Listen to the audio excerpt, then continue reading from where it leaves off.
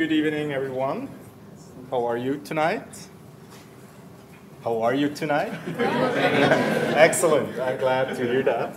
Uh, my name is Urs Gasser. I'm with the uh, Berkman Center, and I'm also on the law school faculty here. I have the great pleasure uh, to serve as your MC uh, tonight, and uh, real, uh, really fortunate to welcome you to this special event, to this special evening. Um, as you will see, tonight we will make the impossible possible, or is it actually the other way around, the possible impossible?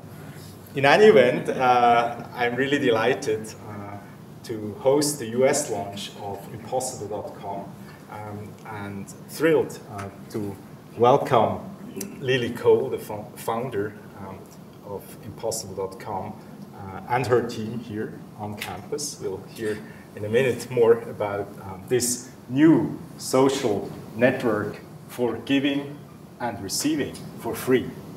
So uh, it's promising to be a really interesting, exciting evening. Uh, to give you a quick overview of the program, we'll start with a introductory video, relatively short, um, to give us a basic idea what Impossible is about. Uh, Lily will then add context to that and some background.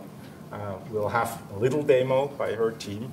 Uh, we'll have time for a few uh, quick questions, clarification questions, and we'll then segue into a, a panel with a, a, number of wonderful panelists. I will introduce the panel um, later on, and talk about not only the platform that we're going to launch tonight here in the US, uh, but also more broadly about uh, some of the core issues that the platform raises and broader societal questions around gift economy and sharing and norms of uh, reciprocity and the like. So this will be a, an interesting conversation uh, with the panel, but of course all of you are invited uh, to participate in the question uh, and answer session as well. We have microphones to circulate.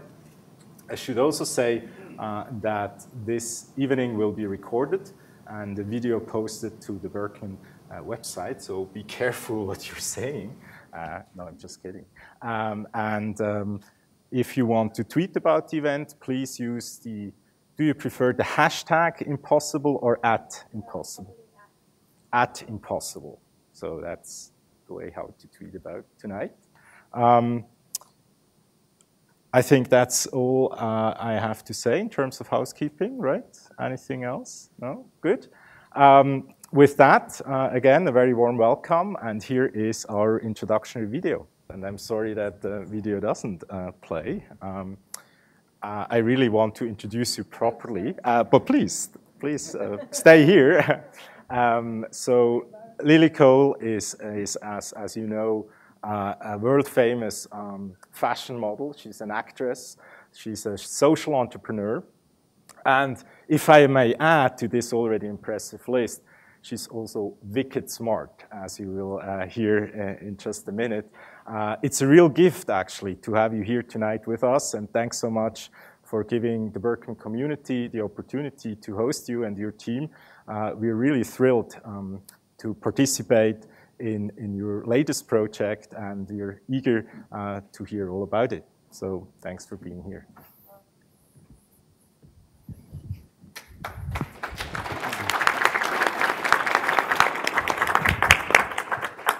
I just want to say thank you, first and foremost. Um, I feel very honoured to be here, and I feel very honoured by the brilliant speakers I've got joining us tonight. And um, I'm going to try and explain a little bit about what we're doing, and then I'm going to try and shut up for the rest of the evening and learn from these guys. um, so I'll start by saying um, there's uh, seems to be, I guess, a, quite a conflict in, in some of the words he uses, like model and actress and social entrepreneur. It would seem maybe, um, but interestingly, my background working in fashion, I started working in fashion uh, 12 years ago now, um, led me increasingly to the understanding that. Uh, I saw economics as one of the most powerful uh, languages that we speak internationally and uh, that has social implications and environmental implications. I was working for different charities over a few years um, and simultaneously working for different companies. And I increasingly felt that unless we look at production chains, unless we look at businesses, the ones that you know you might advertise for or that you might buy into, um, we are going to continue to have social environmental issues that then charity will need to mitigate. And so I started channeling my energy into working with companies that you know talked about transparency and tried to you know have socially and environmentally responsible production chains. Founded a company in England on those terms, and um, still to this day try and think through that remit. Um, now that's looking at the monetary prism that we're in for the most part. Um, and then three years ago, was with a friend, um, had a conversation that gave birth to an idea which uh, preceded my understanding of the gift economy, but led me to research the gift economy and learn about alternative economic ideas. And I found the gift economy to be really, really um, fascinating. Um, from my perspective of it, the most fundamental difference um, between the gift economy and what I think predominates today, which is exchange paradigms, is uh, based around reciprocity and the idea that reciprocity might be generalized as opposed to direct. So rather than A gives to B because B gives something back to A, often money, could be bartered, could be something in a different kind. Um, what about A gives to B? Trusting that A, B, uh, firstly, B might need it, and A can for, for that reason, and trusting that B might give to C, C might give to D, and one day D might give back to A. And if you have a structure or a society or a network or a world where everyone is giving and receiving, inevitably everyone will give and receive, and there will inevitably be a return. It just won't necessarily be direct. And it's very interesting when you think about what the social implications are of that different equation and the research that's been done looking at societies, often pre capitalist, um, arguably in different measures in our own societies today where the gift economy exists, and the social equations that it structures and sets up. The idea that it creates subtle relationships between the individuals. Imagine everybody in this room was there to support you. Like, if you needed anything, had your back. Like, imagine that was everybody in Boston. Imagine if that was everybody in the States. Imagine if everybody in the world you knew would support you if you needed it, would answer your needs if you needed something answered. And the small price to pay is that where you see the opportunity to help another, you can and you do. Um, I think that's a that's the kind of world that I personally would uh, love to feel more of a part of. And so this kind of slightly crazy venture I've been on with Impossible is saying, can we think about that? Like, can we think about uh, value and can we think about our relationships with one another? Can we propose an idea that we might do things for one another without an obvious sense of return and encourage and facilitate maybe a bit more of that uh, through technology? And so we've built an app and we've built a website, which I'll explain a little bit about right now. Um, I'm not here to pitch an app or a website the more people who join it, the more great that community will be. But really, I'm talking about the ideas that are kind of behind it, above it, else outside of it, and it's not it's not about this one structure. Um, but we've done our best job at thinking about how can technology show up the possibilities so that they can maybe trigger A to help B. Um, because sometimes you don't know B, sometimes you didn't know B actually needed something that you might have or needed some help with something that you could do. So that's that's the point of this. Um, what we have done is we have created a social network. Um, so like most social networks, you have a profile, which is public, and shows your wishes, which are things that can work both ways. So things you can offer up to the community and things that you can ask the community for. So um, it's written in a very free text way, like a tweet. So it's kind of open-ended how people use it. A lot of people have been using it for skills, service-orientated stuff. It could also be advice. It could be products. Um, the only premise is it's all non-monetary. And then um, saying thank you is the thought process behind that was to create an abundant currency. So um, reflect what's happening on the system without potentially quantifying it and making it go into an exchange modality. So you can say thank you as much as you want, and that's always there in your profile in public. Um, so here's in a stream, you can see content that's close to you, so based on location. So you're seeing neighbors' content. You can see people you follow, so existing social graphs. I could follow my people I follow on Twitter, people I follow on Facebook, etc. Um, and we used hashtagging content to um, also. There's no example actually there, but to, to if I wanted to look up music-related content, I could click a hashtag music and find anything posted nearby to do with music. Um, we included this one because somebody posted that in Boston yesterday, so I thought it was quite nice. Um, and then here's an example of one being fulfilled. So um, I actually know this man, Ron Garan. He's an astronaut. I wish you could see the picture at the end because it's a picture he took of space, which is quite cool. But um, he posted a wish from Texas to get a girl to go um, uh, to visit Japan, um, who uh, through I think it was Make a Wish Foundation, and um, asked. It ended up being that he needed air miles. A couple of us donated collectively air miles. The girl's wish is fulfilled, and he posted a thank you. And then these are examples of people posting thanks on the network, which again, as I say, is a kind of playful subversion of the idea of currency. It doesn't really mean anything. It just means if you go to someone's profile, you can kind of see all the, all the things that they've done and said thank you for. And then that's uh, a screen grab this morning of a bunch of things that people had posted, mostly in London, because we did promotion at the end of last year in London, and so most of our community are UK based. Um, we do have people around the world. Um, the final thing I'll say, especially before we bring these panelists up, is that when you uh, look at up the gift economy, one of the examples, interestingly, is the internet and open source technology, and how open source software is arguably a, a gift economy of sorts. And I think it's really interesting that that I, at least how I understand it, the internet's kind of uh, revived, at least in dialogue and in examples, the idea of the gift economy and kind of how, how it can mean, what it can mean for us in a contemporary context.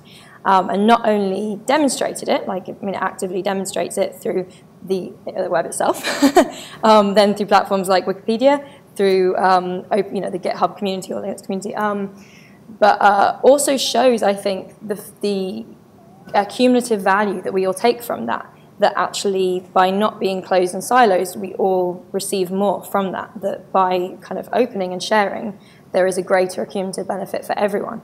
So um, it actually, I would argue, doesn't suggest it's a, that giving becomes selfless. It suggests actually it's a very kind of self-rewarding uh, mechanism.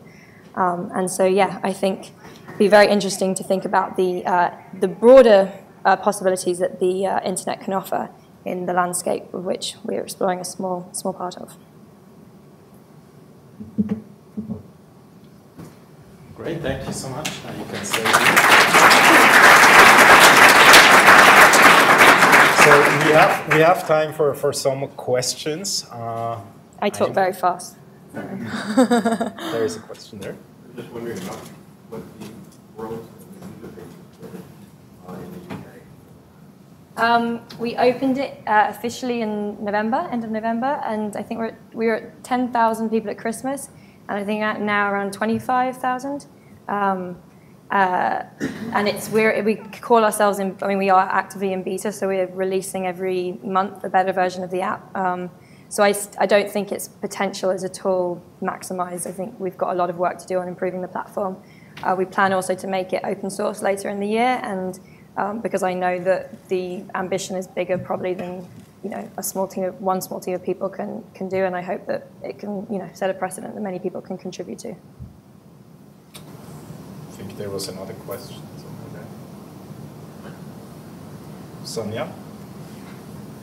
Um, can I ask a cynical question about people cheating the system and ask whether there are some who just take and never give and whether that's a problem, how you deal with that?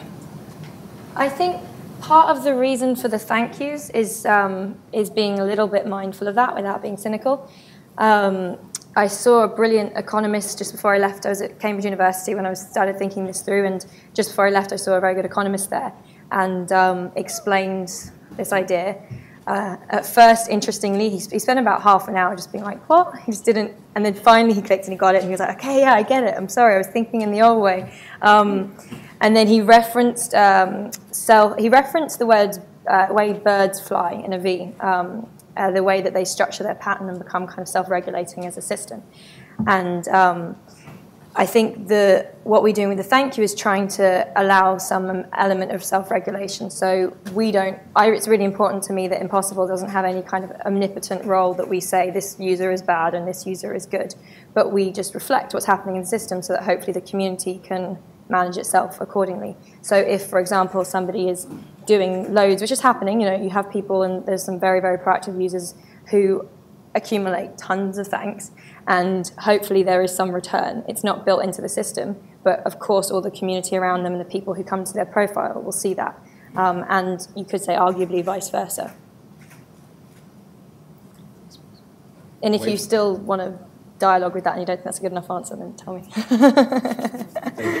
What type of uh, community standards or restrictions do you impose on your users In what sense? in terms of what they're allowed to post? What they're allowed to post. Yeah. That's an interesting challenge. Um, we have built tools so that the uh, community can moderate itself, and I think that's optimal. So you can flag and report content, um, and I think, and I hope over time, uh, we the community will manage itself rather than again us having to play that omnipotent role. We discourage monetary posts because I think it'd be so easy for it to become another place that people and people post, you know, sales content.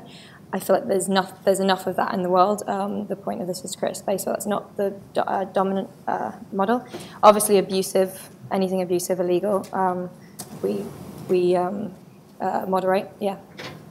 But it's a tricky one, yeah. It's a tricky philosophical conversation around that. There's a question right behind you there. Um, you and your team have clearly thought a lot about the giving economy, but uh, everybody I've spoken to who wants to make the world a better place also has to talk about the 75% of the global population that's not fortunate enough to have access to, to apps or rich internet content. Um, there's some talk. I'm curious to hear your thoughts about globalizing a giving economy and how you can transfer goods and services uh, across international boundaries into places where you can't necessarily uh, ship something. We we start we're starting off where we're starting off, which is um, Western society for the most part, people who have computers or iPhones. We are thinking already about people who don't have access. Well, the reason we did the website as opposed to just iPhone was it was really important to me that anybody could not anybody, but a lot more people than just iPhone owners could could access it. Um, and so that's why we, we built the uh, web simultaneously. We're looking right now. We're doing a hackathon at the end of the month um, in Berkeley to look at how we can disseminate wishes in different in ways other than the website and the app. So, for example, uh, we're building. There's some a roboticist there has been building an ATM that prints wishes and that could. Right now, it's just like a kind of uh, like prototype, almost like thought piece, art piece. But actually, if it works, we could potentially put in different cities, so you get a free point of access where you can find local content. Um, SMS, I think, is really important, and I know our, our partner uh, Kwame, that's really important to him. Is how we can adopt this to work through SMS for um, people who don't have smartphones. Obviously, in a lot more developing community, world communities. I'm not suggesting that we can reach the whole world, and as I said, the I think the idea is bigger than one network will ever probably manage. It's more about can we. I, I think it'd be great if this became more of a natural practice off the app, you know, just in like day to day reality. Um, so yeah, we're just dealing with what we can. Yeah. Where's the hack In Berkeley, by all means, come. It's open. There is a gentleman who's really eager to jump in. Yeah, sorry. I just wanted to, to add that actually for your 75%, this is less of a problem. This is a 1%. What Lily's addressing is a 1% problem. We're using technology to solve a problem that is about the disconnect between society. Actually, as you go down sort of through, through to the lower echelons, communities exist much more, people support each other much more. Um, and actually, when you get to 75%, you actually find there's an awful lot more giving economy. So it's actually not needed quite so much. It's, it's kind of for you. It's interesting, yeah. I did think that. I thought I wasn't going to go into that space, but seeing as you mentioned it, um, yeah, I've actually found, interestingly, on my travels that uh, you've, like when I think of examples of seeing the gift economy in practice, I think often of like developing world uh, contexts. Like I was in a village in Ghana where they don't they don't really don't use money. Like it's not common currency. I mean maybe they use a little bit but not really. And um, for example they have mud hut, um, mud huts and they have to rethatch their roofs every three years. And it's just practice that the whole community will come together or the whole male community at least and rethatch one mud hut and they'll take turns and by it's just a given that you have to do that because at one point in the next three years your roof's going to need to be done um, and also the uh, conversation that gave birth to the idea was on the way to a refugee camp on the Thai-Burmese border, uh, which I was visiting, and once again, that's a really extreme example of, of this, but they don't use money. Um, they live in incredibly difficult circumstances. Obviously, that, that, that refugee camp, when I visited it, had been standing for 26 years already. There had been kids who'd been born there and lived you know, their whole lives there.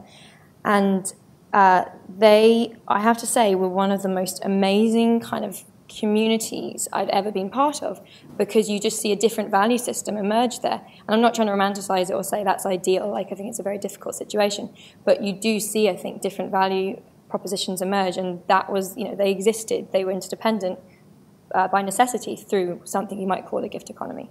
So, um, yeah, you might argue this is actually addressing quite first world problems on, on some level, but. So, two questions over there. So, of users in the first world, what are you noticing as cultural differences, say, between people in France and the UK or the US? Have you detected anything? It's really, I think, too, I, would love to be able to answer that question. I think it's too early to say. Um, uh, we, all of our promotions been in the UK the end of last year. Rural and urban, like London and Devon? Um, most of our users are in London. We did quite active promotion because it relies on density somewhat. Like it's more valuable if you've got lots of people nearby using it. Um, London's probably been the biggest point of traction because we did quite a focused uh, campaign there.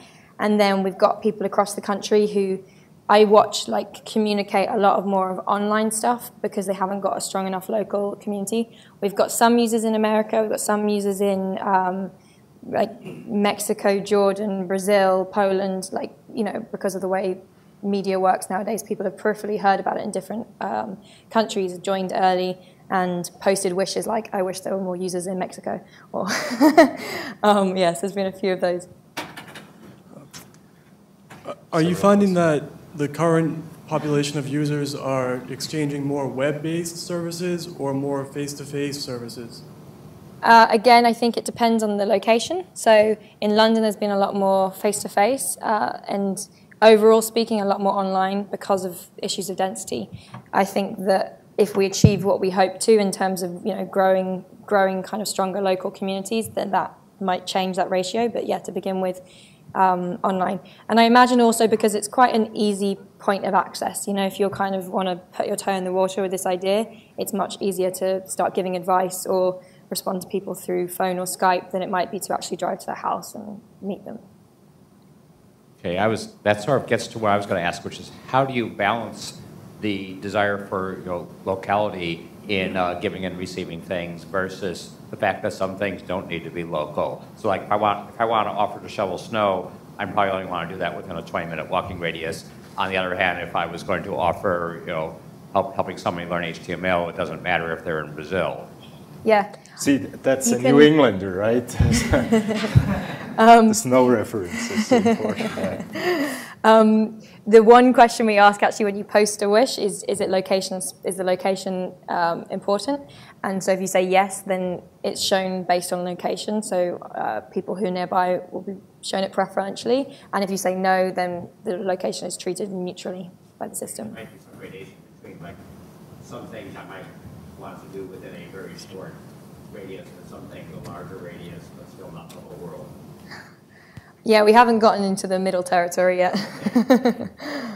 Yes, Jay. What do you think of anonymous gift exchanges? Um, I think they're quite interesting. We're not anonymous. I mean, you could actually be anonymous. Uh, there's no nothing to stop you from setting up an anonymous profile. Uh, arguably, you'd have less trust in the community because the more kind of, I think, the more self-evident you are about yourself and you connect it to other online social uh, networks, probably the more likely people will trust you. I don't know that, but that's my uh, gut feeling. Um, but I have actually con- been considering whether people could post wishes anonymously. Um, and how then the logic of that would, would work through. I'm not against I'm not the, against the idea. You'd obviously run into a problem, practically speaking, if you ever had to meet and issues like that. But fundamentally, I'm not against it. Gentleman right there. In five years from now, where do you want Impossible to be? What will it look like? Possible. um, oh, it's always so tough when you talk about the future because then I don't know, you just feel like you set yourself up for a failure of some sort. Um, obviously, I believe in this. I wouldn't have invested like a large part of three years of my life and as much of my kind of resource and self into it if I didn't. And I really do believe in the value system it's trying to propagate. and I would hope that in five years' time we have either built a community internally or um, if, if, through the open source network we help other people build similar structures that also facilitate that same movement, um, I'd be very happy. Uh, we're also developing separately things looking at monetary, like, like kind of as I began, like the supply chains. I think I have lots of ideas of where this can grow and go to, but um, they're all backed up by um, trying to make essentially deeper connections between uh, people. May I ask a question too? What's the biggest challenge right now, or starting an enterprise like this? It's quite. There's quite a few. um, uh, fundraising has been very hard. Uh, it's been self-funded by me and our CTO, and the British government gave me a grant. Um, but we're structured as a Yunus social business, so uh, essentially is we're kind of in another weird grey space where we're not a charity and we're not a business. Uh, 100% of profit will go back into the social mission, and so um, for, you know it's philosophically largely like a charity, but gives us more freedom to operate like a business, and hopefully become self-sustainable and be able to grow. Um, and so that's quite challenging to like yeah it's quite had a few quite interesting conversations with investors about that um, growth i mean actually users and uh, solving the density issue I mentioned before is a big issue. So how can we how can we grow in a way that it can scale and provide uh, enough value to the users? You know, if you're on there and you love the idea, but you haven't got people nearby on it, like it's not going to return that much value. You know, if you're limited to things you can do online, it's probably not going to return that much value. And I can try my best at flying around the world and talking about it, but it's largely out of my control um, whether we can deal with that that problem as it as it kind of um, emerges. Maybe. So there are a few uh, specific sites like couchsurfing. There's some, there exist there are a few sites like couchsurfing uh, and uh, maybe ride sharing, uh, uh, uh, which which are just set up the whole site just to share one particular thing. Yeah. Do you, do you see impossible ending up with sort of uh, sort of ghettos where people do you uh, end up you, where you end up realizing that actually there's a whole lot of people sharing this one particular thing. We ought to probably uh, sort of mm, create a little market, a special marketplace for particular things. Uh, do you think do you think that, you know, that, that could end up into uh, from being this very generic thing at the moment, end up sort of spinning off uh, places where people you know, the same old customers come repeatedly to, to, to, to give away uh, uh, and look specific. for specific, very specific thing. Yeah, and I think that actually probably would have been a better answer to the five years from now question. Um, we, and that is also probably a good answer to the what's one of the biggest problems we have, um, that we're trying to do so much, like that, uh, and I don't think that's wrong, that approach, because as I said, it's more about creating a community and understanding of value at this point. Um, but you know, there is there's a really great app you might have heard of um, that deals with finding a car immediately when you need one. Um, it's got four letters in it. it's really becoming popular. Um, like that's after tens or hundreds of years, you know, maybe not hundreds, but of industries looking at the issue of, of travel and car services and how can we make it more and more intelligent and more and more convenient to the customer. Um, and you get to this, you know, an app that does that very, very, very well. And we're like, how can we do everything that you've all trying to be doing for like hundreds of years at the same time in a different way? And, uh, and of course, the service is not going to be that good. So it would be wonderful if we did have a part of Impossible that was like, can I find a free ride and it brings me a map and I see anybody who's driving in the direction and I see their profile, so I trust them and it's a more elegant version of hitchhiking, you know? Um, it'd be brilliant if we can start to refine this tool to solve specific problems um, in a more tool-like way. But uh, that's a little bit beyond our capacity right now. And um, to your point on the couch surfing and all of those couch surfing, interesting. Actually, I read a um, I read a report on these kind of ideas a few years ago that used couch surfing as the only example of non-bilateral return. Um, that they've proven that non-bilateral return works and can grow. Um, I really love what they do and their kind of philosophy behind it. And I always try to, whenever I meet, and I've spoken to the one of the founders of Couchsurfing, whenever I try and meet people in that landscape, communicate a very like collaborative philosophy of like if we can ever help you and like traffic, you know, if we have people asking for homes, can we traffic them to you? Like, are there ways we can build bridges between collaborative networks? Um, and I and I hope that uh, many of the people working in that space in different ways will will be as collaborative on the macro scale as they are on the kind of inner micro scale, because I think that gives yeah the whole idea a lot more hope. Great, I think that's a perfect segue actually into our panel. So I may ask uh, the panelists to uh, join us, but first, thanks again.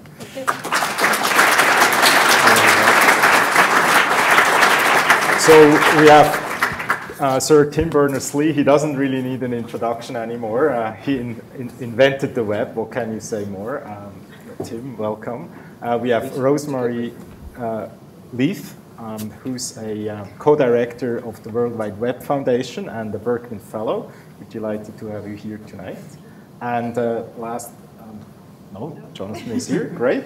Uh, we have uh, Judith Donath. She's also a uh, fellow at the Berkman Center and formerly um, at MIT.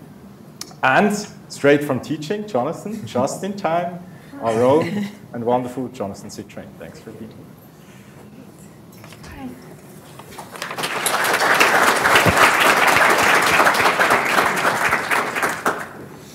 So uh, Lily uh, set the stage in, in, in wonderful ways and uh, uh, framed, the, I think, also some of the broader themes that we hope to talk about uh, tonight. And I would actually like to start by taking uh, two steps back. Um, you introduced this notion of, of the gift economy as one of the core concepts that you've been thinking about and you've been inspired by. And so in this concept gift economy, we have two prongs, right? One is the gift and then the economy. And in that order, actually, I'd like to start um, this conversation by asking Judith, um, uh, what is a gift uh, as a social practice, as a social phenomenon? Okay, so to start with, I think even gift is such a complicated term, and there's a couple of others that have been thrown around here tonight that I think will be useful to clarify. So when we think of gifts, there's actually a bunch of different types of things we can think of. There's the you know, the traditional Western Christmas gift, birthday gift. And that's a, a slightly different one. But what I would like to say about that one, what's interesting there is that's a lot about saying, what do I think about you? If I'm giving you a gift, it's a way of my signaling what I think of you and what do I think about our relationship. At the more coercive level, it might be what I think you ought to be like and what I think our relationship should be like. The guy who gives his wife, you know, a vacuum cleaner for her birthday is giving her some kind of message. It may not be welcome, but it's certainly a message. Um, that's you know a particular type of gift that's about our relationship there's also the type of gifts i think we've been talking about more tonight which are gifts within a community which is another word that I think we might want to focus on a little bit more because gifts really exist within relationships and they exist within communities. And I think that's one of the big challenges here. I think the gift part, in some ways, is less difficult than the community part. If you look at a lot of the communities that work in this way, in which, like, I give something and then someone else gives something, there's a huge level of trust. And now, trust is something that's very hard to gain. And one of the things when you have a strong community with strong ties among people, you have that kind of trust because they've had to do things to prove that they are trustworthy. Um, there's a lot of work that's been done with like with closed communities such as like for instance the orthodox communities of diamond merchants that just you know will have like $80,000 of diamonds and they'll like toss them to someone else and they don't need to have a receipt or anything. But you look at the shared rituals that they have gone through and the years of establishing that they will attend all these rituals they share these norms that they will pay a huge price for either freeloading or behaving in an untrustworthy way, they can afford to be very, very free with giving within that space. And so I think one of the challenges here is that once we move outside the individual relationship with a gift and we start moving into a larger community, the bigger we grow, the harder it is to establish that kind of trust. And so even when you look at online, sort of examples of gift giving. One, a little gift, I think some of the examples have been very interesting on impossible have been people say, you know, asking like they just want the answer to a question. But if you look at the internet, there's most of the internet is someone asked a question. There was like Usenet was people asking questions, they wanted an answer. Hmm. Quora, they're all over. There's a lot of information that's out there on the web because people have been asking and answering questions there for a long time. And those answers are a little bit of a gift. And if you look at things like the history of Usenet, while it wasn't a bounded community, it was a community. People got to know each other, they were in small groups. Once the web came around and there started to be search and the community boundaries started to break up, that sort of lightweight gift community, lightweight as it was, fell apart because then you would have what were effectively freeloaders coming in because they came in through search as opposed to become coming in as community members and they would like ask a question get their answer and off they went so there wasn't the sense that you were answering something to someone who would then contribute. So while this doesn't quite answer your question of what is a gift, a lot of it is that it's things that we exchange to maintain and establish these relationships, and it's done within the boundaries of some kind of relationship and community. So it's very helpful as a framing. Yeah. Um, one quick question as a follow-up: um, Are there gifts with negative value, you alluded to it. It's not it's not clear that it's always positive. But. Well, there's tons. I mean, is, is, there anyone in this room who has ever received a gift that they did not like? Who that's never happened to? Right? It's regifting. Um, yes, there's regift. Well, regifting is, is great. That's in a community where you often get it where it's just you always have to bring that bottle of wine to dinner, and there's that bottle of wine nobody ever wants to drink, and it can move around the community. But there you get a lot of that. That's the thought that counts. But a lot of them can be. There are coercive gifts. The gift that says this is the sort of person I think you are, and you think I, am not that. Or the sort of the, the inappropriate gift from someone you're not that fond of who suddenly gives you like, you know, a great necklace. It's like, um, you know, I really don't think we had that kind of relationship. Thank you very much.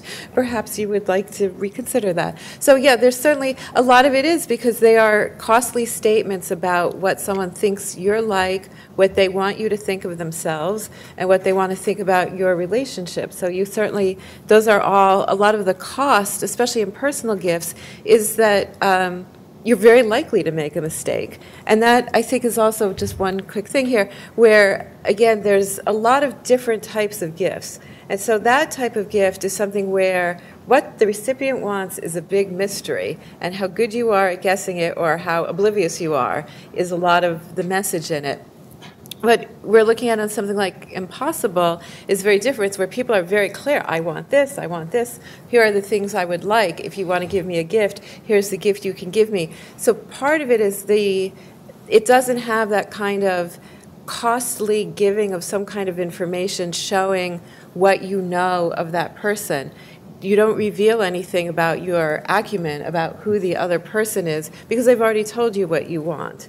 So that's also a different type. So the part of the question is when do you want to be able to say, I'm going to give you a gift because I'm going to show you my insight? If I know what you want, I can't communicate any personal insight. Fascinating. So. So one of the key takeaways from what uh, you're describing so helpfully is that gifts are um, a deeply social practice mm-hmm. um, and, and have a long history, obviously. Um, so when we segue from the gifts part uh, to the gift economy part, I'm wondering how the emergence of, of markets uh, uh, have actually changed our culture of giving and receiving. And I was hoping, Rosemary, that you could share uh, some of your observations. Of course, you already heard, right, that um, nowadays we have business models um, that are built um, around sharing practices and around things that um, previously were actually all about giving and receiving for free, and now it's commercialized. So, what does the economy, uh, the market economy in particular, do to our culture of sharing and, and giving? Well, I think if you look at capitalism a little bit in the market economy with profit motives, perhaps um, accumulation of wealth, um, in the digital world, what does that mean? Um, and is it fed by social capital, really? Um, you know, what is social capital? It's getting access, it's increasing networks, excuse me, increasing your quality of life as a result. is it self interest? um, which is slightly contrary to what Impossible seeks to do. But can people use uh, use the site for self-interest to build their social capital? Um, and is building social capital selfish if you're fulfilling a wish? What do you think, Lily? Um, I interestingly actually have drawn an analogy previously in my mind between uh, the social reputation that was recognized often in gift economies that. Uh, yeah, a lot of anthropological texts again have, have written about um, that there is social reputation is a big part of the practice, and um, how social media depends largely on social reputation, I would say, and as um, that's a big kind of um, a big force behind it.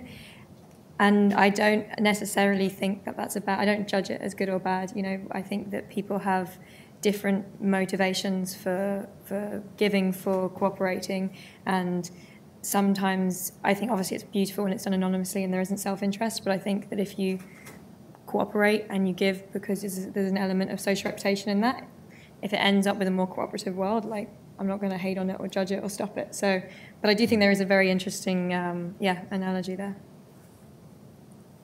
Thank you. So I would say one, sorry, one yeah, last please. thought there. And if you actually think about, I think if you think that through, um, like what, uh, what does social reputation mean? It means that I walk into a room, you know, like a real room or a theoretical room, like my Facebook page, and it changes how people relate to me. You know, it's how I'm perceived. And um, you might say that social reputation could be built on power or could be built on showing off, and that's what I'd say a lot of social media does right now, of like making your life look amazing. Um, you don't see that many posts, you know, pictures on Instagram of like, here's how a crappy day. um, uh, if your social reputation is built on um, is built on your acts of kindness and like how you interact with the world around you and your community, like that's quite an interesting inversion of, of um, social reputation. And I don't think it's necessarily a bad one.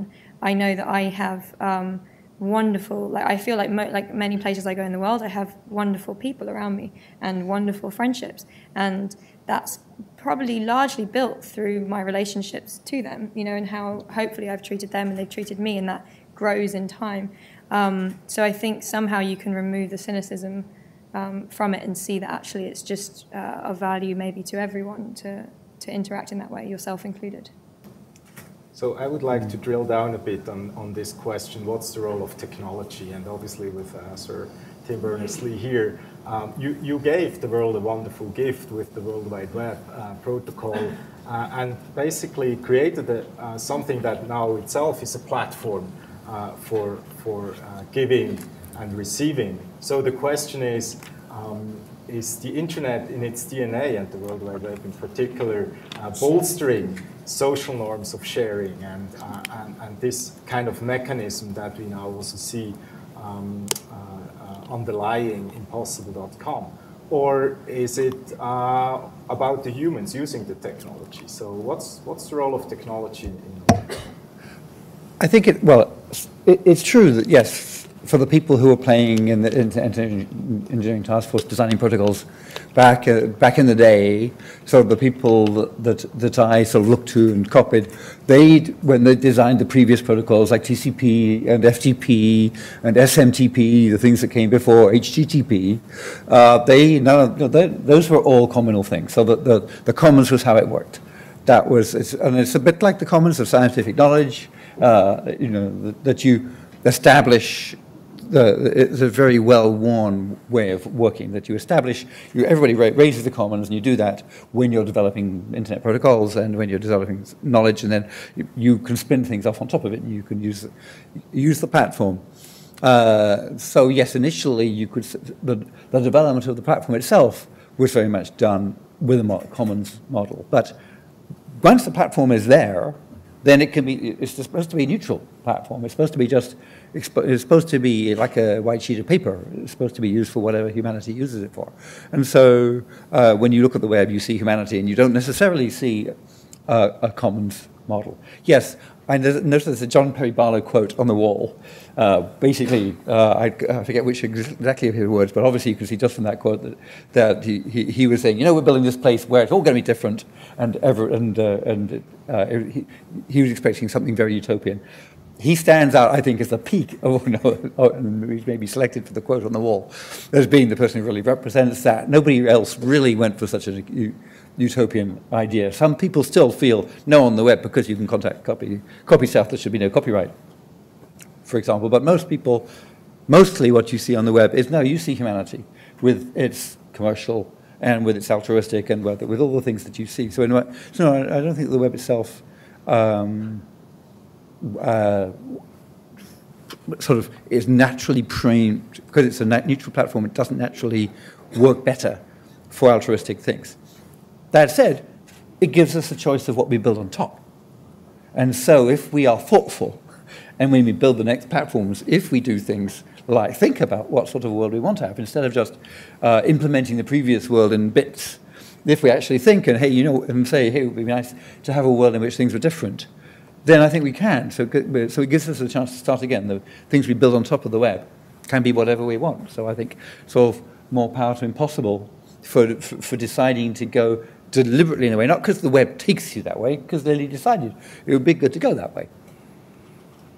It was actually on that point, it was really interesting. I'd been working on Impossible um, very much by myself at this point a few years ago, and um, I'd just done. Uh, I'd just done the first version of wireframes finally after hiring two people to make them, and they were not right. I was like, how am I going to do this by myself? I don't know how to use uh, PowerPoint properly. And so I was like, I'm going to make them by collage. And so I just made collage wireframes, scanned them in, and mocked together how this thing was going to work through 10 pages. And my um, old history politics teacher um, came by now retired, like one of the most brilliant wise men I've, I've, been uh, fortunate enough to be taught by, and um, came by for a cup of tea. And I showed him, I just want to show you this thing I'm working on. And it was quite extraordinary to see. He was um, like genuinely blown away, and not by uh, the singular idea of, of um, I don't, yeah, well, that was, was called impossible at that point, of impossible, but rather by suddenly seeing what the internet can potentially allow us to do. And he studied history, like he studied hundreds of years of different social movements and different political movements. And I think he just suddenly saw, oh, things that people have been trying to do, or societies have trying trying to do for hundreds of years, now actually may be possible. And, and what does that mean? Not impossible by itself, but what does that mean broadly? Um, and I, I personally have been very, very inspired the last few years through working on this and just thinking about the breadth of possibility there is um, for uh, for new things to emerge. I mean, if you think about social media and how I don't, I don't think there's another example historically where the whole, like such a huge proportion of the world has so quickly changed its social dynamic in a very, you know, in a very immediate way. Um, it's, it's pretty powerful. Yeah, I think it's very interesting, and it's really in its infancy. So I'm, I'm very interested to see what other ideas people have, and yeah, what else we can do. I thought And- you were going to say he was, and he looked over your shoulder and said, Lily, give us to me, I'll code up a JavaScript for you. don't think he knows what JavaScript is. Oh. um, and. I also think your, uh, I don't know if you want to talk about that at all, but the Web You Want campaign, which I know you two are working on, um, really speaks to that too. It's like the internet is so amazing, and it's like we have so much potential with it, and I think it's so important we honour that. Perhaps we can get back to that in just Sorry, a minute. I'm gonna get carried away. because that seems to be a terrific segue actually for something that Jonathan has uh, been thinking uh, a lot about, and that is this question, the generative quality of the internet, but also very much uh, going forward, um, uh, the pressures that exist and, and the, the threat that exists to an open internet that allows uh, for uh, things to be built on top um, in the way as we've seen it in the past. So looking at the status quo and, and, and perhaps more interestingly, some of the trends you see happening right now in, commercial world, but also how platforms are actually operating, um, in what direction are we headed and what are some of the possible implications, not only for platforms such as impossible.com, but for the ecosystem, how we uh, as, as users um, participate in, in interactions, in sharing, uh, and in social practices. Well, I think you're right to ask about the pressures on the platform and on the platforms, and also maybe to draw within that the pressures on individuals these days. Um, we live in a time where we have more affordances, to use a nice social science term, surely than ever before. The idea that we can get a message or a photo or something out to the world, and if it's interested in it, it will ricochet instantly it's been easier to do in 2014 than 2013 than 2005 than going all the way back. And at the same time, I think it's fair to say that our perception of the environment is one where dangers lurk at every corner. Somebody's like, oh, you opened your computer. That was your mistake. It's totally compromised now. You'll have to microwave it. And you're like, what? yep, yep, it's gone. Um, or uh, the idea that if you cross the wrong person online, like your life can become a living hell as subscriptions are ordered up for you and calumnies are said about you, and you're left having to fill out repeated bubble sheets on Facebook that this does violate the terms of service, and no, I don't want to send them a message that says they're a bad person. Can you take care of it? Um, and the normal response to those kinds of fear and pressure is to an individual to, to withdraw, to pull in. I think to a parent to tell their kid, like, you're not going online except for me watching you and maybe an angry bird or two until you're 27.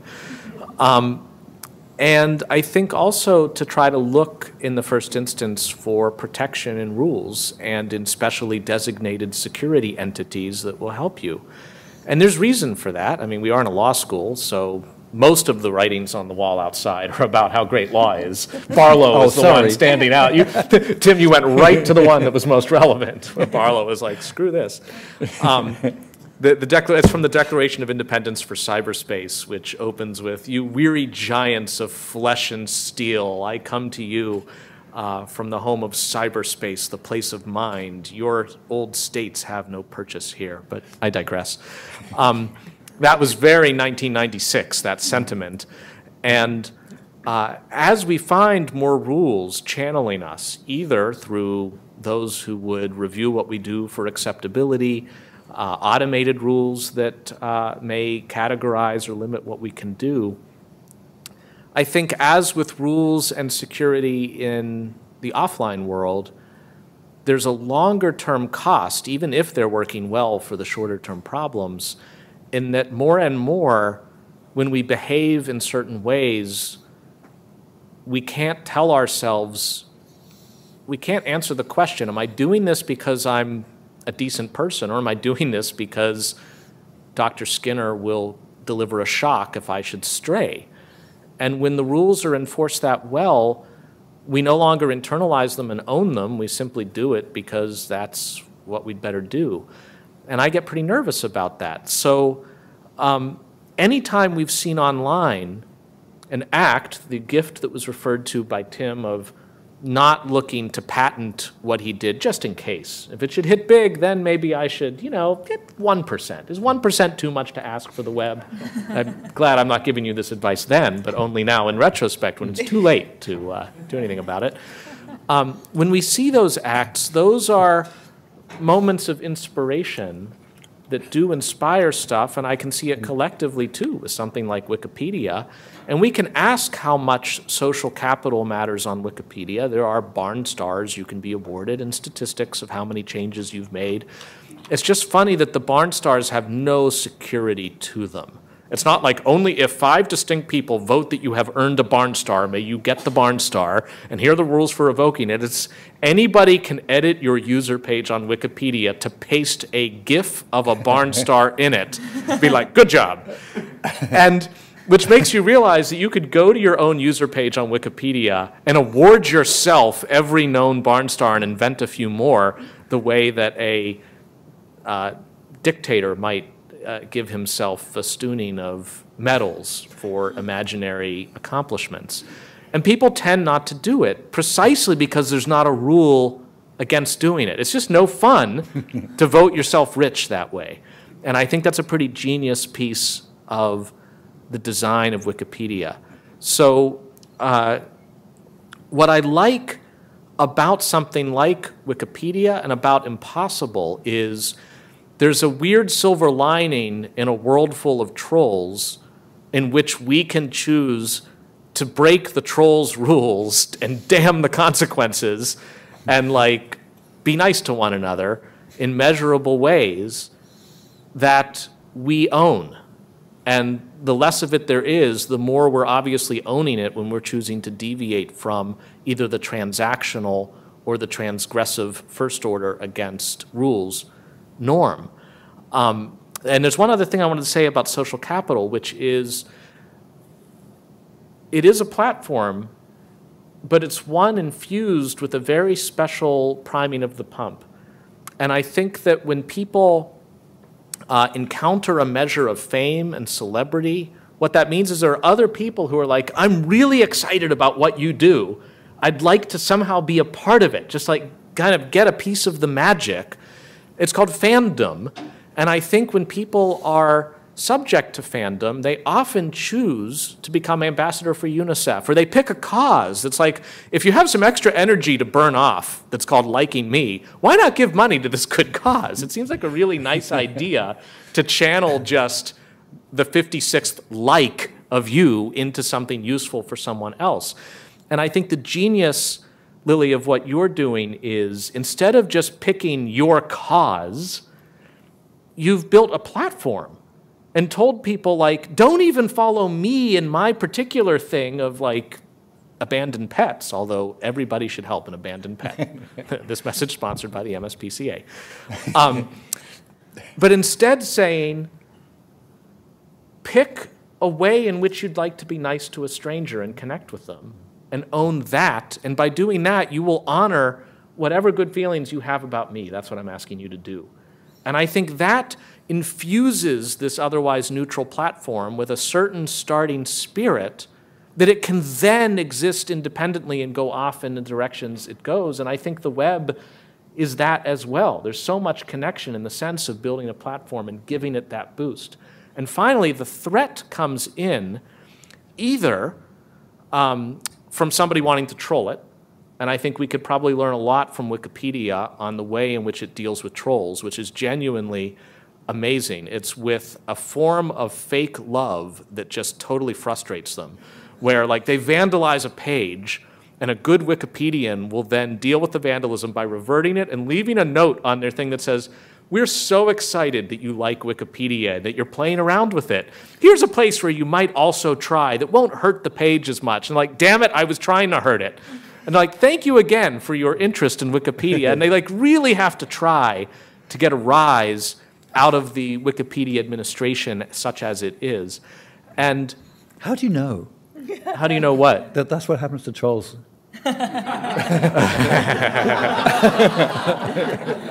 it's all research, damn it! It's all research. It's for the greater good. Um, I've seen it happen. I, have read about it. Um, yes, that's the answer. Um, and the other thing is, you can become a victim of your own success. That if something becomes too popular too quickly, and exactly what makes it successful and therefore popular is the culture and practice built around it rather than a particular magic technology that just you push a button and you get a magic bean if too many people flow in looking for the magic, we get what I think is what anybody who has been to Burning Man says the next year that person is at Burning Man, which is it's gone to hell. That last year was the key year, and everybody who joined after me is just a hanger on. And and you know that from YouTube. Uh, that's right. That's right. So figuring out how to deal with the influx of attention that comes from success and retaining your spirit. I think that's a problem Wikipedia faces every day. It's a problem the web faced when people, for a while, when they looked at trolling of various kinds online, said, we need new computer ethics. How do we keep training people in computer? We are past computer ethics at this point uh, as the main way to solve it. But despite that, I do think there are ways to try to help onboard this new energy that comes in. So they're really apprenticing to the very spirit that made it successful and made them want to join to begin it, uh, to begin with. JZ, do you think yes. that there's um, a movement to crowdsource kindness? So if you have a young generation of people who grew up on the internet, that instead of going to soup kitchens, you can actually go online and you can be kind online. You can find an outlet, as you're saying, for um, for a number of things you want to do. I mean, look at Reddit, Reddit yes. gift, for yes. example. And so, actually, it could be the start of something really magical, of a new trend of of uh, a new vehicle for people um, instead of physically going out. I do, and I think the less formulaic it is, the better, which means one might have to continually evolve modalities of finding people in need, of being kind, and, and uh, Reddit, uh, in that particular subreddit, is an incredible example Mm-hmm. of just transforming people's worlds. Now, when they make the reality show based on it that then follows people around as they are awarded, it all starts to get transactional and such. But I think the hope is that that spirit then finds another uh, pathway to express. And I think it's a habit that then becomes learned. It's really, it's so amazing when you go to your first meetup or you successfully have a couch surfing and you define success the first time as like no one died, no one was killed. And then you're like, did I have a good time is actually the new success. Um, these are things that really can change people's, I think, general outlook on life. And that's to me why it's so powerful. So maybe we should ask how the Wiki- Wikipedians would deal with a with a troll uh, anti-troll methods with a, with somebody who puts dark uh, dark uniformed uh, anonymous forces in a neighboring country uh, just to see what see uh, uh, without very much comment. Uh-huh. Maybe that maybe it's a form of it's a form of trolling, and it's would be susceptible to the same so, sort of treatment. I think that certainly the it's the ethos of nonviolent resistance to almost anything, which is I'm not going to play in your frame, and that may mean that I will pay a great cost. And it's not clear that every threat can be met successfully with nonviolent resistance, but my guess is we are underestimating that number rather than overestimating it. Great. This may be a, an excellent moment uh, to open it up, uh, uh, since we have some Wikipedians in the audience. Uh, wink, wink, uh, in case SJ wants to weigh in with reflections. But any questions to the panelists? And wait for the microphone, please. It's right here.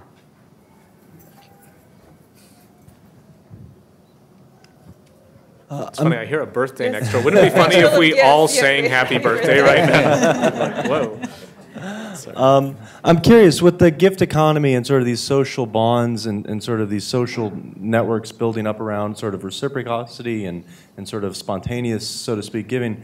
Is, are there concerns that we end up giving to people that we relate to more often and that this can stratify us and sort of make us say, hey, this person looks like me or thinks like me or listens to the same music, and, and then we have got even more sort of segregated or stratified society because of we say, oh, this is all good and gifting, but actually we're just sort of kind of creating a smaller pool of tighter connections. So it's the gift bubble issue. Um, I I don't think I could ever answer that on like a on a base like human level of like the instincts we might have to give to one another. Um, but on a systems level of like how we've uh, designed Impossible, um, I tried to design it in a way that uh, would allow serendipity in the content you see. So that's why you don't just see follow, you don't just follow your friends. You know you you, you know you you kind of your stream has local content. It's um, taking the you know, best your features of chat roulette and putting them into impossible. I, I think there's a, another way of looking at it is that you don't want to try and build interfaces that go contrary to what we understand about human nature. And it's true that people are more trusting of those who look similar to them. There was um, there's a very interesting experiment done a couple of years ago by someone who was looking at um, who you will vote for. And it turns out if you combine that, they could say, okay, these people wanted to vote for, you know, Bush and these people wanted to vote for Gore. But if they took the person's own face and very subtly combined it with the candidate's face, it actually quite changed the level to which you vote for. So there's all kinds of things that basically, if you could find someone out there who is you, you'll just give them everything. I love social science. Which That's great. probably makes a lot of um, a lot of sense. We are, you know, we have a lot of reasons we want to give to family, et cetera. So what you want to do when you design an interface then is you say, let's work with this, because it also turns out that we can redefine the different coalitions that um, we see as people like us. So if you want to work on that design, you say, okay, well, what we don't want is to say, you know, all the white people only give things to white people and, you know, et cetera, like that. You say, what are different ways of setting up how groups are formed in this piece? You know, there's been other experiments done um, where people have taken groups and said, you know, basically, you know, that's it works how sports works. You put a green T-shirt on one set of people, a yellow T-shirt on another set, and they're like deathly enemies. And so you could do mm-hmm. things like that in interfaces that say, okay, we're going to make this particular set and say you are like these people. You can do a lot of things to work with mm-hmm. that kind of tendency as opposed to saying we want to go against the tendency to give to people like us. You can just start to think about redefining how do we want to do that. And I think that that also, there's a, I think there's a very complicated thing, and English is, doesn't seem to be doing a good job with words around gift Mm. because there's so many things packed into it. But the kind of gift that's about a relationship, like with an immediate person, is very different than the gift that's a charity. And you know, I think one of the things I'm still struggling to understand about impossible is where does it fall in that domain of the gift that's about the personal relationship and the gift that's a charitable donation to somebody. And charity is a lot about giving to others. And you know, if you read something like Maimonides' work, a lot of it is about saying that the giver should be as anonymous and disappear, and that the highest level is where people don't even know they've received something. And so that's very, very different than the kind of gift exchange that's about, it can't be anonymous because it's all about building a relationship. So I think as we develop these interfaces, we need to kind of understand which piece of you know the traditions and understandings of gifts and relationships we're pulling from. So, yes, a local church, for example, would have a, uh, two phenomena might be one might be a potluck supper where everybody comes and brings you know gi- gives random food to each other on a very much of a peer level, and then they're also twinned with a church somewhere in uh, and a school somewhere in in, in uh, sub-Saharan Africa where they're building the school, and it's a sort of completely different relationship. But it does seem that when you're if you're trying to get somebody to go and do the the, the, the, the, second giving where you're crossing community boundaries, you're crossing, I think one of the early questions was about, yes, but you know, isn't this just about the 1% learning to give when the other 60, 70% already give and that's the only way they survive? But it is true, isn't it true also that even, that even though there might be this theory of the gift being remote, if you want somebody to give, you make them con- very conscious of exactly what the little girl they're giving to looks like, even though they're you know way the other side of the world. In fact, what you do instead of saying you're going to give to people of this you know, in this country who have been in fa- fa- famine, you say for the cost of a coffee you could inject this child with their with their vaccines. Right. So just just for clarity, like Maimonides' notion about gifting as, as charity, the highest level wasn't that you don't know who you're giving it to, but they do not know who gave to them, and they do not, and at the highest level, they don't even know that something was given to them. Like, you know, something just appeared and their life was better, but they're not even aware that someone has come to help them out. Because the idea was that there's something that, that can be deeply uh, distressing about being given to also. So I think part of it is there's such a complicated, there's very complicated psychologies around giving and receiving and, and the issues around reciprocity are a lot of a lot of it isn't a bad thing. It's about maintaining the dignity of the recipient to be a giver. Um, yeah, uh, I actually think that one of the interesting insights I've come to through this process is that, and I could be wrong on this because it's just speculative, but, but that people actually have a harder time receiving often than giving, and that actually at some point I wanted to call this the receiving economy almost, um, and instead I just call it the giving receiving economy. And it's interesting that actually it's very I've never I don't really ever see those two words put together. It's always kind of the gift economy or the giving culture, um, and of course they're both necessary and important. Um, But is the and- receiving the asking?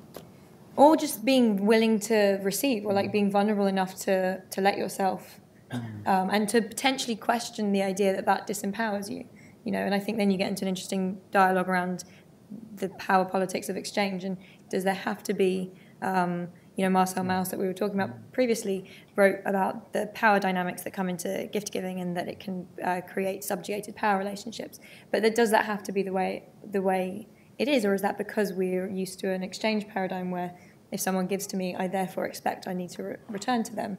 Um, it's in, I don't know. It's, it's it's interesting psychology. But to your question on what types of uh, gifts, uh, one I would love to do in future and, and like build more anon- anonymity um, option uh, aspects as we touched on earlier, and we're trying to think through that now.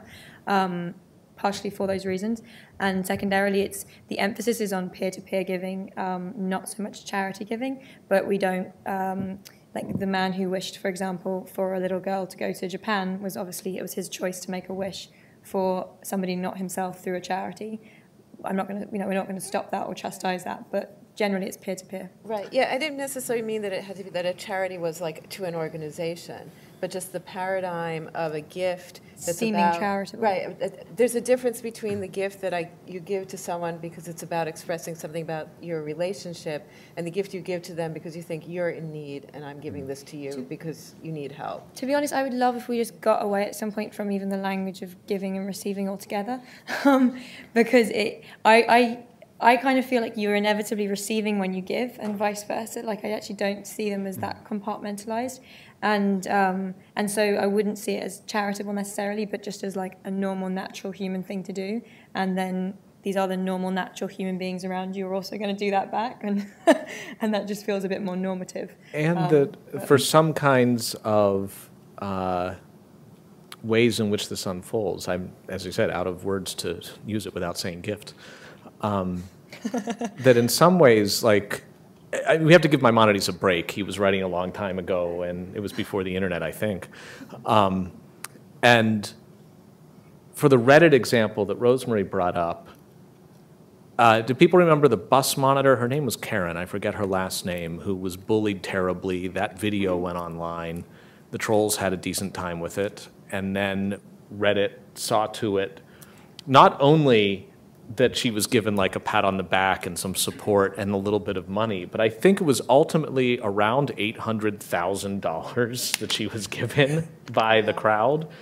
And I think the only way to understand that is collectively people wanted to make a statement that said $800,000 says that's not the way you should behave. It's not a statement about punishment, it's a statement about just how much of an outpouring there was, five or ten dollars at a time, about their view on it. And the fact that it wasn't, maybe the givers were largely anonymous, but that the whole thing happened was meant to create a statement about who lots of people wanted to be and what society they wanted to see. And that's a neat function. I like the idea that it's more about, I, I hear Lily using wish more than need, because a wish is something beyond need, but also less necessary. It's like, you don't, I'm not telling you, you have to give this to me. You'll be a bad person if you don't. That's a need, I think. A wish is, look, you don't have to do this, but it would really be hmm. cool if this happened. Don't you agree too? And when it does happen, I agree. Great fortune. Like chance has smiled on me rather than just I got what I was due because people should have what they need. It's a very Yeah, different it's like a non-expectation. feel to it. But And- some wishes yeah. are some wishes are offers. Yeah. If I'm right, and some wishes are asks. Yeah. So it's it's actually a, a Which a was double- interesting actually because we started off with um, the wish being divided into I wish and I can, and had people kind of in a more uh, polarized way posting things. And we actually discovered, to my delight, that people were using I wish to post offers too. So saying like I wish I could help do da da da da, or I wish I could da da. da. Um, which I just think is wonderful because it's hmm. it kind I of could does really use a dollar or two would be the other one too. Yeah. submerging the two, you know, which is what we're talking about, submerging this idea of giving and receiving, which is a bit crazy. But I think, you know, we do actually, I think, receive when we give. And when we break that thought paradigm, I think there's something very powerful that could happen. We have a few more people. You have a mic already, right? No?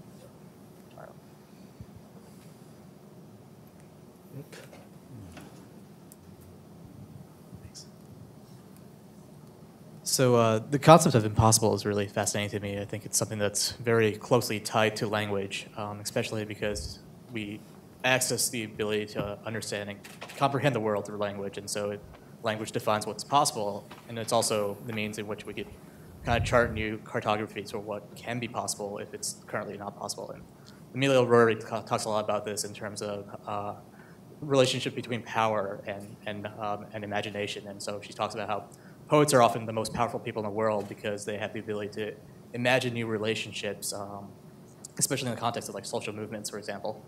And it seems that we're kind of moving away from, or we're not moving away, but we're moving towards the power of technology and the language of technology as a new way to imagine and solve impossible problems at this huge scale because not only is it uh, the internet and the web as a as a uh, as a system is very large. It's you know you're no longer thinking within your local sphere, but you're thinking at a global level. But the language itself allows you to manifest into this plane something that language can always can't always express. So when you create something with code, you're building something, and it's a way to kind of reimagine relationships and re, um, and build new things to kind of solve large problems. And so I'm kind of curious, you know, uh, Tim and Jonathan, what your thoughts are on how the language of technology and the language of the internet, you know, whether it's HTML or any sort of programming language, can kind of help us conceive and tackle large problems. And then Lily, what your thoughts are maybe on how your platform um, is a way for us to articulate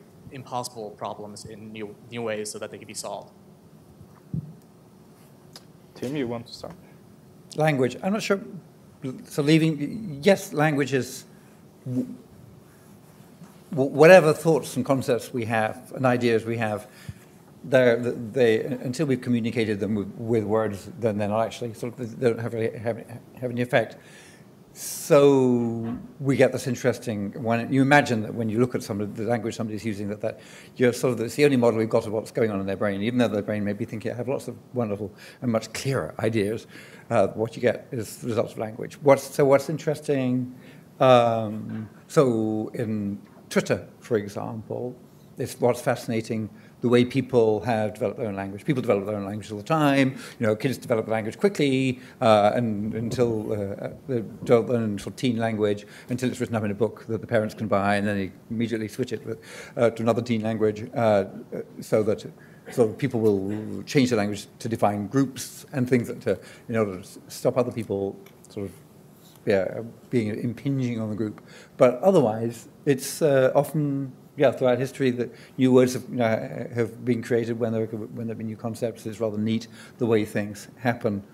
Uh, we're on Twitter doing a retweet, modified tweet, and all kinds of little acronyms get uh, people get put together very quickly because people come up with a um, because in fact there's new things going on and people just invent things that ways of talking about it. It would be of course neat if in uh, I don't know how you could make that happen in impossible. If so, the, you know, hmm? so that so if the so the imps, for example, new word. Started, yeah, that yesterday. Made that, they made that word up. Somebody, well, somebody wished. I wished. I wished that. I wished that impossible users were called imps. Yeah, and then it now they on. are.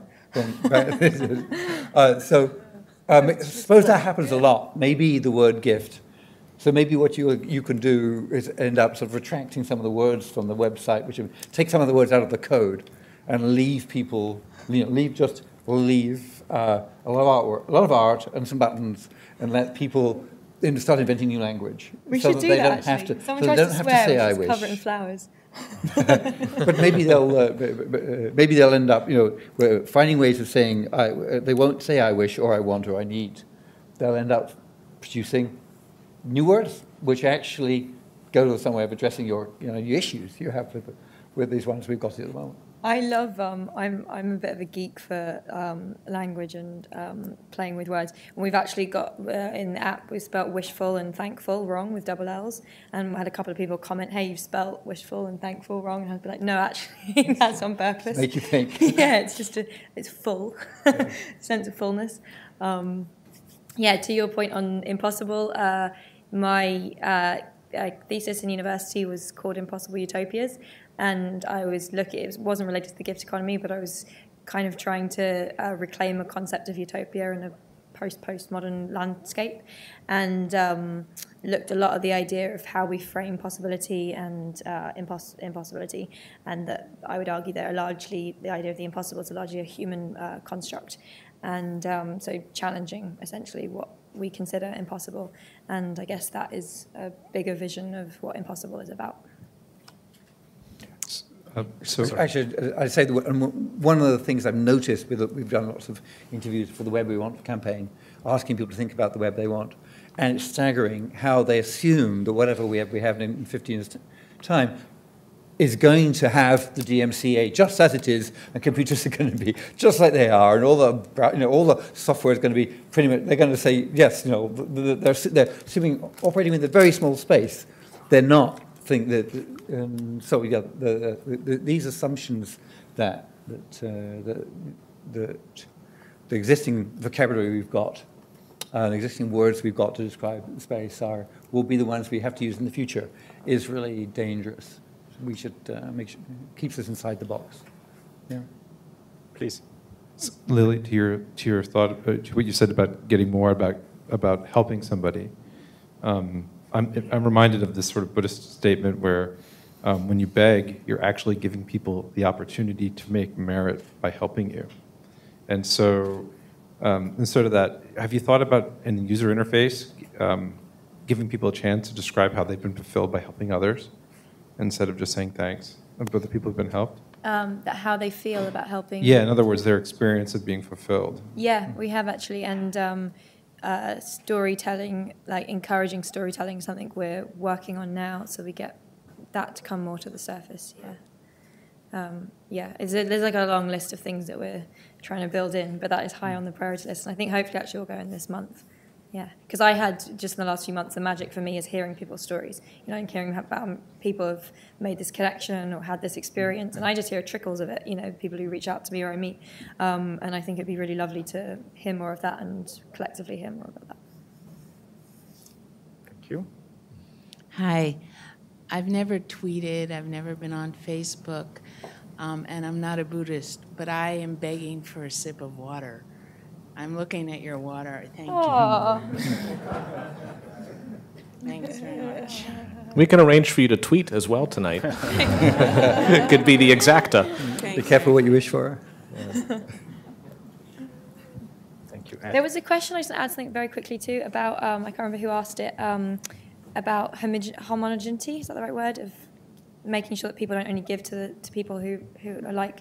And I just want to say very quickly, last time I was in this room was for um, Ethan Zuckerman's book launch, Rewire, and, and uh, Rewired, and he was talking about exactly that concept and how um, there's a real danger to the internet being designed in a way that potentially you just see, you know, you should go to these bars because your friends like these bars. You should read these books because you already like that book. And um, and I, I, genuinely actually do think there's a real danger in that in a lot of algorithms architecting how we experience the web in a way that reflects our own experience, previous experiences or biases or friendships. Um, and with Impossible, I've avoided if anyone else wants water, I'm not drinking it. So, um, thank you. For sale to the highest bidder. um, so yeah, I, I, for impossible, it's something I've been mindful of of um, make of trying to make it serendipitous. So with crowdsourcing serendipity, um, a man in this room actually helped come up with that idea of how we could create matches that that we crowdsource rather than algorithmically do for that reason entirely. Um, and I think there's a bigger issue there about how if I go to my computer and I'm seeing mirrors of sorts in my experience of it, that I think there's a very big philosophical danger to that. The filter bubble. Yeah, yeah, yeah, yeah. Mm. The advertising filters, the whatever they are. So we have time for one last question well, before we have good. to wrap up. Uh, so much of the conversation tonight has centered around social capital. And Sir Tim had mentioned uh, couch surfing, and, and you, you, you lend out your couch with the hope that you can use somebody else's. And Jonathan had mentioned Wikipedia and the way that you, you can clearly see a user's contribution. So, Lily, when you were um, kind of designing this impossible, uh, to what extent did it play in that we could kind of keep tabs on and how many wishes somebody's you know uh, fulfilled, or or just kind of keeping score, or as it seems the way that you would rather use wish than gift, uh, resisting that temptation.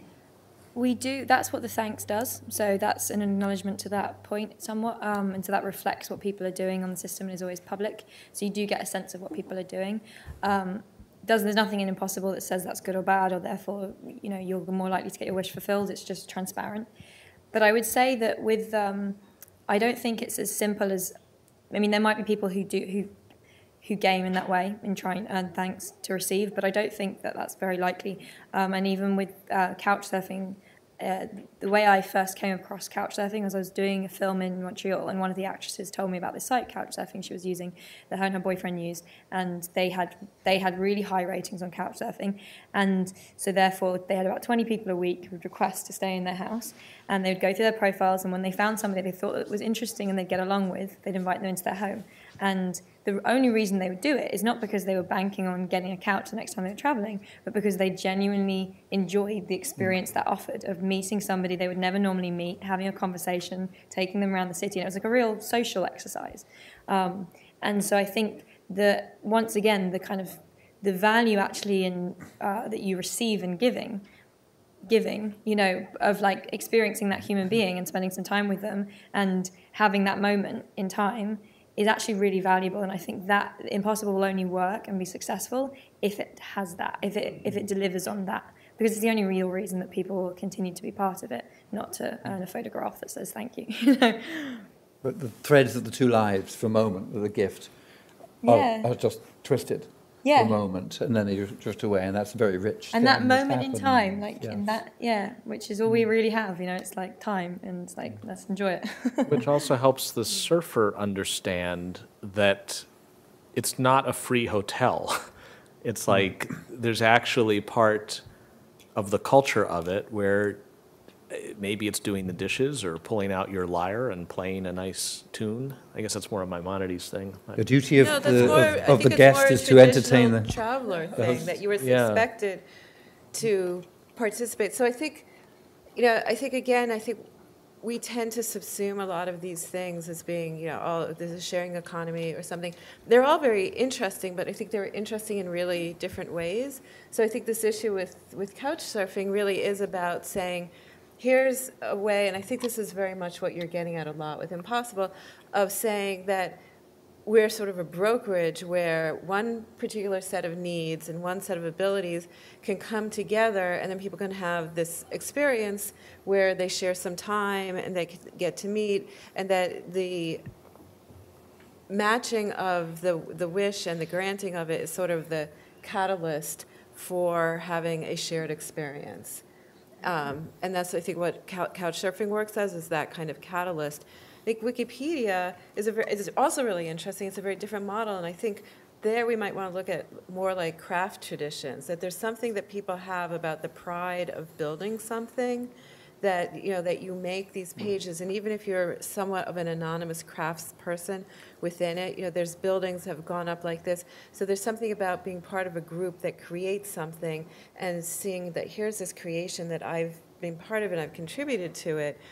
It's also it's also a selfless act compared to going to the store and buying something for as a monetary exchange, but the psychology of it is is not better or worse. It's just very different than the social couch surfing piece.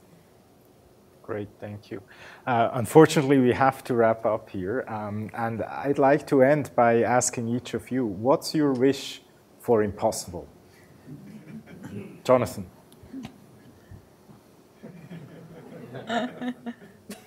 And I feel like I'm in one of those movies where you get one wish and then you try to put a technicality in it and then it comes back to haunt you, or I guess it's the monkey's paw, isn't it? Um, so not that. Um, my wish is for it to surprise us all with just how powerful it can be. Like, I do think the ingredients are lined up very nicely, and it is one of these generative ideas that is ambitious but not wholly planned, that's ready to turn on a dime or a pence and try something else, and uh, that it surprises us several orders of magnitude on where it can go and becomes the thing that poor Wikipedia has had to be for how many years now, where every time you want to light a flame of hope that things can be different than just transactional or security, you're like, but Wikipedia! And people are like, yeah, yeah, yeah, Wikipedia. But, so uh, there'll be that moment where somebody will be like, but it's impossible. And what they don't mean is, of course, it's not possible. But like, what about impossible? They do it. You're like, well, now there's only two examples. You know, that's double the number of examples in Couchsurfing. Great. Judy? This is a hard one to follow.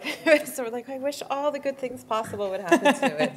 Um, right, and now I have to see something different. Um, so I- I will, I will take a subset of that and just say, you know, I wish that it emerges out of it something really fresh and new that is unexpected. And I think that it's hard to say what that is, but you know, something that makes us think there's a a way that people can work together through this medium that we just hadn't foreseen.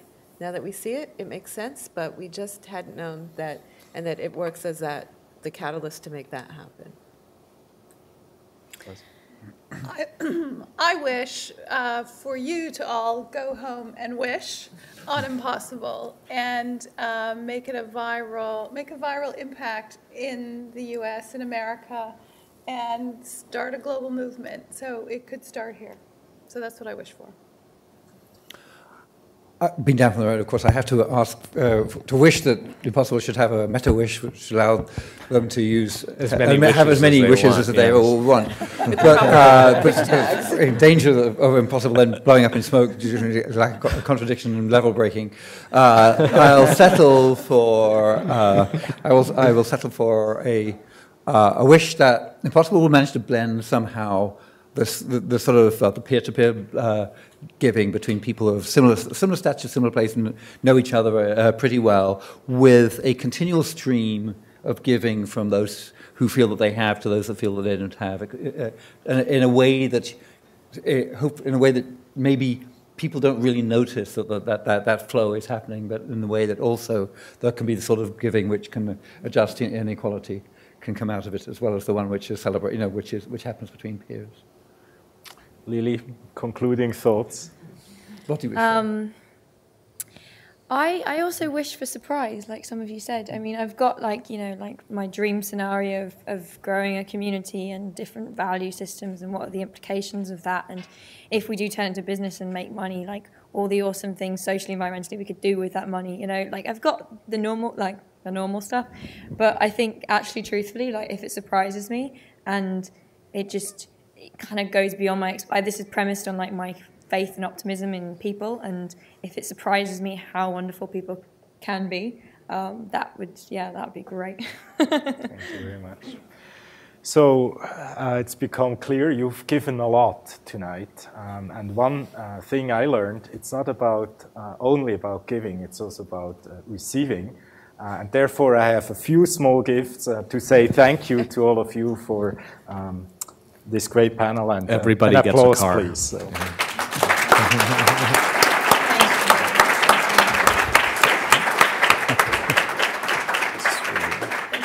So thank you very much. Oh, these are so colorful. Uh, Thank you. Obviously, I get. A, Small no, I was going to say fun. I get a blue or green one. Yeah, right. The girls get pink ones. Thank you. Have a good night. Who knows? Thank you.